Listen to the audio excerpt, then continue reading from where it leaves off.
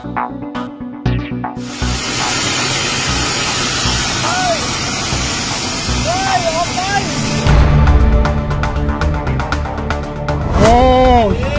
ตายพอดีตาย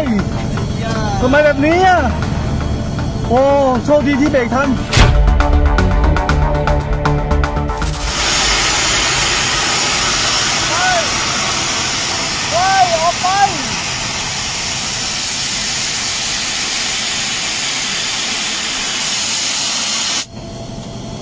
โอ้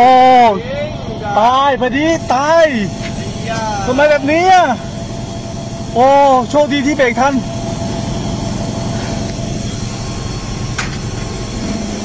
กันถึงวะ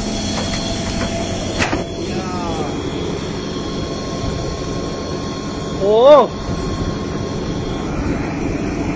เกือบ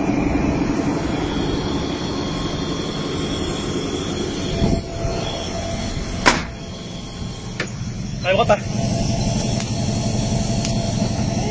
โอ้ยโหถ้าเบรกไม่ทัน เมาด้วย โอ้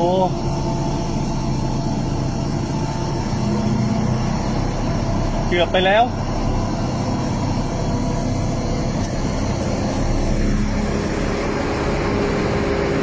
ยา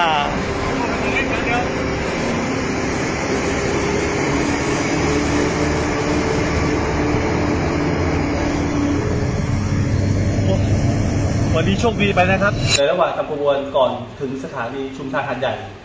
ก็เกิดเหตุการณ์ที่ไม่คาดคิดนะครับ ก็คือจังหวะที่กำลังจะเข้าสู่สถานีชุมทางหันใหญ่ เกิดมีผู้ชายนะครับ มายืนอยู่กลางราง ความห่างของขบวนรถเนี้ยไม่เกิน 200 เมตรนะครับ ซึ่งเห็นแล้วโอ้โหตกใจเลยนะครับทำอะไรไม่ถูก แต่ว่าต้องรีบดึงสติกลับมานะครับ เพื่อที่จะระงับเหตุอันตรายเอาไว้ ก็ผมกับช่างเครื่องนะครับ ก็ทำการเอ่อลงห้ามล้อฉุกเฉินนะครับ เพื่อที่จะหยุดรถไฟแบบกระทันหัน แล้วก็หลังจากนั้นนะครับ ก็ภาวนาอย่างเดียวคือทำยังไงก็ได้อย่าให้รถไฟไปชนเขานะครับ ก็พอถึงหยุดได้ระยะที่รถไฟหยุดได้กับตัวของเออคนที่อยู่บนรางนี่ห่างกันไม่เกินสิบเมตรเองนะครับก็หัวใจก็หล่นตุ๊บเลยครับ พอเห็นว่าผมเห็นว่าปุ๊บออกมีคนดึงออกมาแล้วนะครับ บวกกับขบวนรถไฟที่เอ่อมีความล่าช้าอยู่ด้วย ผมครับก็เลยไม่อยากให้รถไฟเนี่ยล่าช้ามากไปกว่านี้ครับผมก็เลยเห็นว่าปลอดภัยไม่มีสิ่งกีดขวางแล้ว ผมก็เลยนำขบวนออกไปอย่างด้วยความระมัดระวัง แล้วก็เข้าสู่สถานีชุมทางใหญ่อย่างปลอดภัยครับ ยืนเป็นยังไงบ้างครับ ลักษณะ การยืนพอดูใกล้ๆครับ ครับเป็นลักษณะเป็นผู้ชายใส่เสื้อกล้าม ใส่เกงขายาว แล้วก็มึนเมาด้วยครับมีลักษณะมึนเมา มึนเมาเลยครับมึนเมาไรสติเลยครับ